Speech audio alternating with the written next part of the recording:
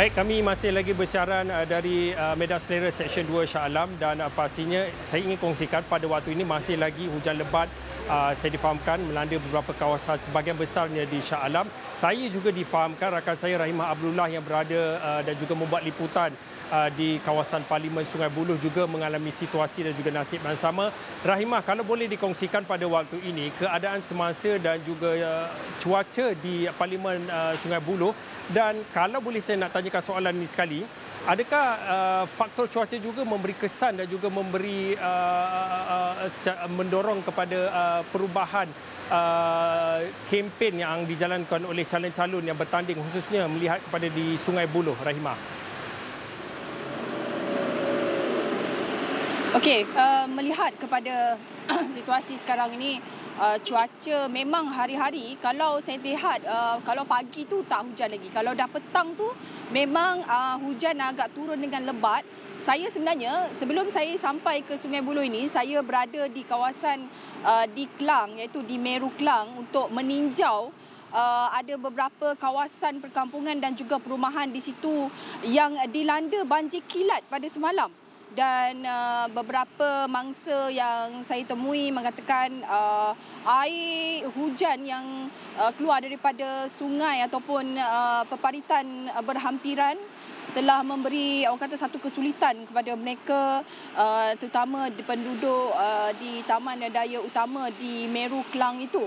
Dan uh, itu antara isu-isu banjir ni. Kalau kata isu isu banjir ni memang orang kata menjadi isu-isu utama terutama di kawasan-kawasan uh, seperti Parlimen Sungai Buloh uh, di Kelang dan juga di Shah Alam uh, melibatkan isu banjir kilat khususnya.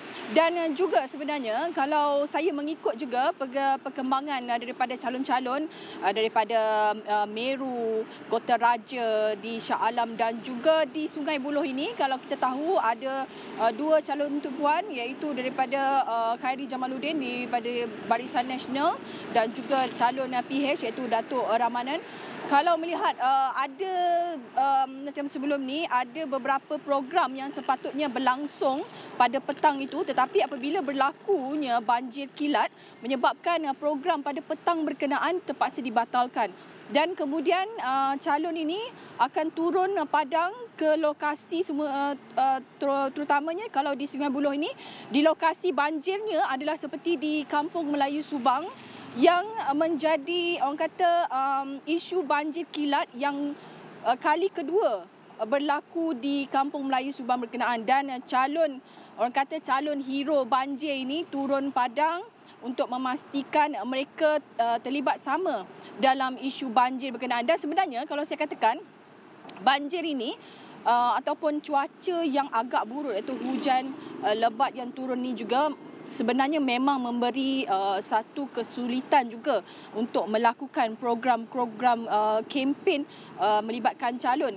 Dan juga pada masa sama banjir itu sendiri iaitu hujan yang turun kalau kita katakan sebenarnya uh, satu rahmat. Tapi juga rahmat kepada calon-calon yang bertanding pada kali ini bukan setakat hanya melakukan kempen-kempen biasa tetapi mereka boleh jadi seorang calon calon uh, hero bagi banjir untuk memastikan mereka turut sama merasai apa yang dirasai oleh rakyat ataupun pengundi yang akan memilih mereka pada PRU ke-15 pada 19 November ini Fauzi. Uh, Raimah, kalau tak silap tadi, uh, Raimah ada sebut uh, Kampung Melayu Subang difahamkan ada dua kali dilanda bah ataupun dilanda banjir pada waktu yang terdekat ini. Mungkin boleh dikongsikan juga Raimah, kalau sempat Raimah bertanyakan uh, kepada penduduk dan juga pengundi-pengundi uh, khususnya yang berada di kawasan itu, adakah apa apa yang mereka ingin suarakan khususnya uh, kepada calon-calon yang bertanding di parlimen tersebut? Rahimah.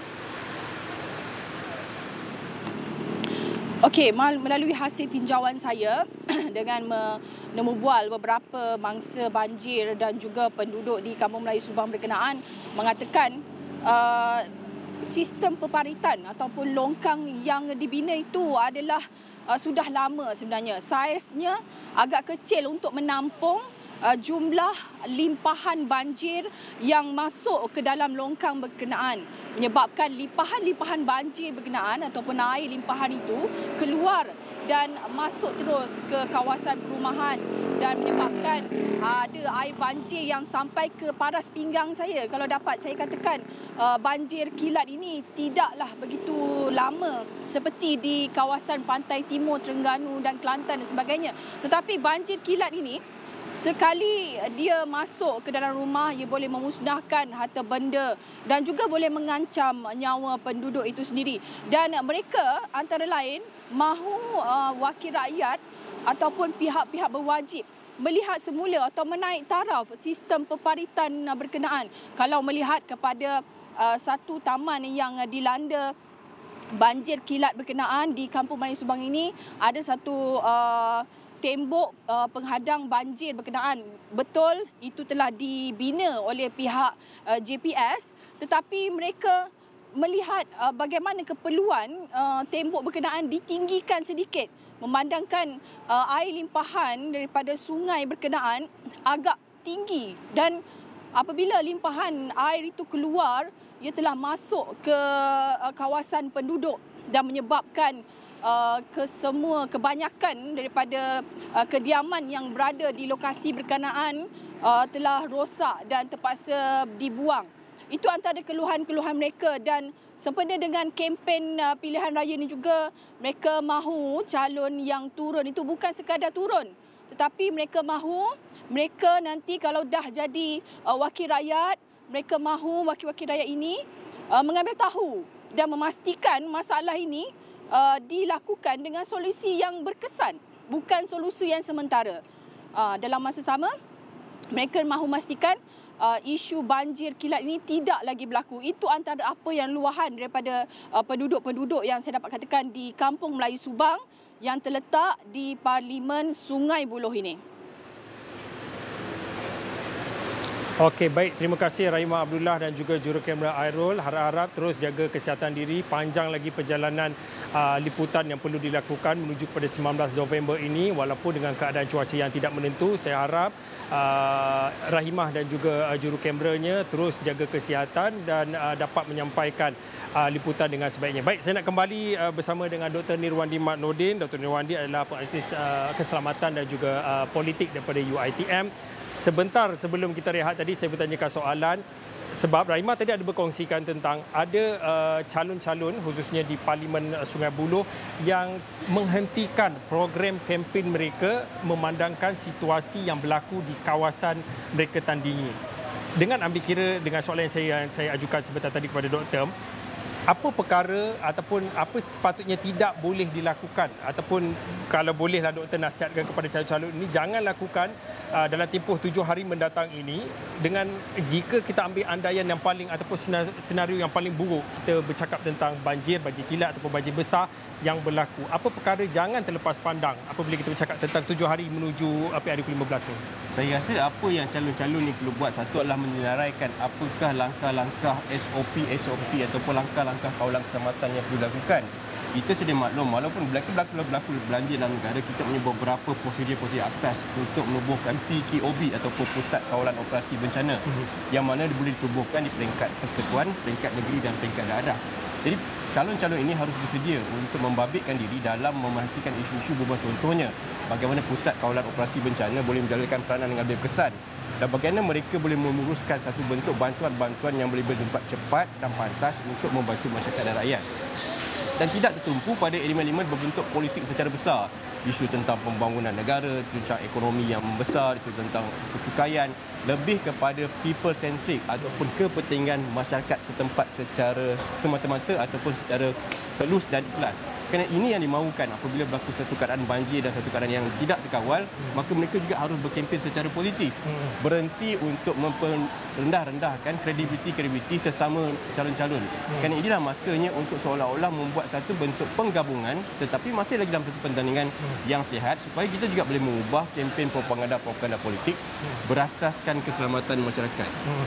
Jadi saya rasa benda-benda yang perlu dielakkan, elakkan untuk buat kempen secara besaran, hmm. elakkan untuk menunjukkan kempen ini adalah kempen untuk bermegah-megahan dengan sumber kewangan yang besar hmm. dan menyalurkan sistem-sistem elemen-elemen berbentuk kewangan, uh, elemen yang boleh dijana itu untuk membantu masyarakat bersedia untuk menghadapi suasana banjir. Saya rasa ini asas kerana kita tahu kita ada bagaimana Majlis Ketua Negara telah mengkaji satu prosedur. SPR juga telah berjaya menjalankan peranan yang baik. Kalau kita ingat di PRK Tenang contohnya, hmm. kita melihat bagaimana isu-isu kolom banjir dapat disangka sempurna. Hmm. Dan banjir ini juga boleh dikawal dengan pelbagai langkah-langkah pengawalan yang telah ada, yang telah dibangunkan dengan baik untuk melihat bagaimana isu banjir mempengaruhi player. Tetapi calon harus mampu berubah bagaimana untuk berubah mereka harus faham apakah itu krisis keselamatan krisis kemanusiaan utamanya bila banjir melanda satu kawasan itu Uh, Doktor, saya ada lebih kurang dalam 2-3 minit yang akhir ini. Mungkin uh, boleh dikongsikan. Kita ambil senario yang paling buruk berlaku. Uh, hujan lebat berterusan dan juga sesuatu yang kita tidak inginkan tetapi akan berlaku pada 19 November ini. Satu, uh, pandangan dan juga jangkaan daripada doktor sendiri melihat kepada peratusan kolam mengundi bagi P108 dan juga kalaulah dengan andaian kita cakap tadi dengan senario yang paling buruk kita andaikan berlaku apa inisiatif-inisiatif yang perlu dilakukan sekarang siap siaganya perlu dilakukan sekarang menuju kepada PRU15 kita takut khawatir kebimbangan orang ramai adalah berkaitan dengan uh, risiko banjir ini sudah tentu asas dia melupakan pilihan raya itu sebagai salah satu medan pertempuran di antara calon dan melihat pilihan raya itu sebagai asas untuk membantu masyarakat. Jadi pembantuan atau kempen-kempen itu harus dibangunkan bagaimana persediaan untuk membantu rakyat. Kita sedia maklum sekiranya cuaca lebih teruk, ada undang-undang pilihan raya 1980 yang boleh membatalkan pilihan raya itu. Itu termasuklah undang-undang pilihan raya yang dibangunkan SPR. Kita sedia maklum MKN akan bersedia dengan pusat kawalan operasi bencana dengan struktur-struktur operasi yang boleh dibangunkan tetapi calon-calon itu harus bersedia. Bagaimana untuk membentuk elemen-elemen berkepentingan masyarakat bagaimana untuk dapatkan satu bantuan-bantuan ya, penyelamatan, bagaimana untuk menyelaras koordinasi koordinasi bantuan-bantuan hubung permakanan dan berhenti untuk melihat ini sebagai salah satu proses kenaya hmm. dan lebih pada satu proses kemanusiaan untuk membantu masyarakat sempat dan secara otomatiknya masyarakat dapat melihat keikhlasan pengundi itu berdasarkan apa yang dilakukan. Maksudnya kurangkan hmm. publicity publicity yang keterlaluan, hmm. lebih kepada berbentuk misi-misi setempat, hmm. lebih pada solusi-solusi base. Contohnya isu peparitan, hmm. isu kesasakan lintas banyak kawasan-kawasan tempatan-tempatan banjir ataupun isu-isu peparitan yang boleh diselesaikan dengan segera. Isu-isu bagaimana memastikan pengairan-pengairan hubungan isu banjir itu dapat diberikan dengan satu maklum balas secara tepat dan ringkas dengan masyarakat. Jadi saya rasa inilah yang dimaukan oleh masyarakat dan ini sebenarnya raya. Kerana kita tidak mahu raya itu dilihat sebagai satu benda yang besar di kalangan calon untuk memburuk mendahkan kekilauan dan pembaziran yang dilakukan. Tetapi akhirnya masyarakat yang terkesan. Saya menjagakan sekiranya berlaku, mungkin akan berlaku pengundian yang lebih rendah, mungkin lebih rendah daripada apa yang berlaku di Kedah atau di apa Johor dan Melaka, tetapi secara langsungnya walaupun ia undi yang rendah dan sekiranya boleh dilakukan, tetapi masyarakat faham pilihan itu boleh berlangsung dan sekiranya berlangsung, jalankan tanggungjawab mengundi dengan baik dan bagi mereka yang menjadi calon, pastikan anda memahami kehendak dan aspirasi masyarakat dan jangan jadi calon yang syok sendiri hanya untuk kepentingan pribadi. Jadi saya rasa ini benda penting. Okay. Kita kena beritahu, letakkan benda yang positif, letakkan benda-benda yang berbentuk kemanusiaan lebih pada masyarakat dan pastikan Shah Alam ini dapat dijaga dengan baik dan kawasan Shah Alam ini dapat menikmati khususnya bahawa isu-isu yang besar seperti isu kos hidup, banjir hmm. dan perkara-perkara yang boleh dilihat sebagai pada penting untuk masyarakat Shah Alam itu sendiri. Okey, baik. Terima kasih Dr. Nirwandi Maknodin, Paksis uh, Keselamatan dan juga Politik daripada UITM. Nanti jika ada masa, ada slot-slot yang uh, yang bersesuaian, nanti kita nak panggil lagi Dr. Nirwandi, kita melihat sebab panjang lagi, walaupun tujuh hari sebenarnya, setiap hari itu adalah cukup panjang bagi calon-calon yang bertanding.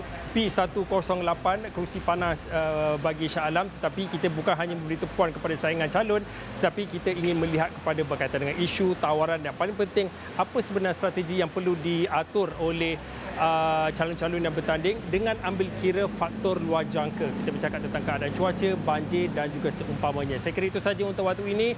Malaysia memilih saya Fauzi Zain. Kita jumpa lagi.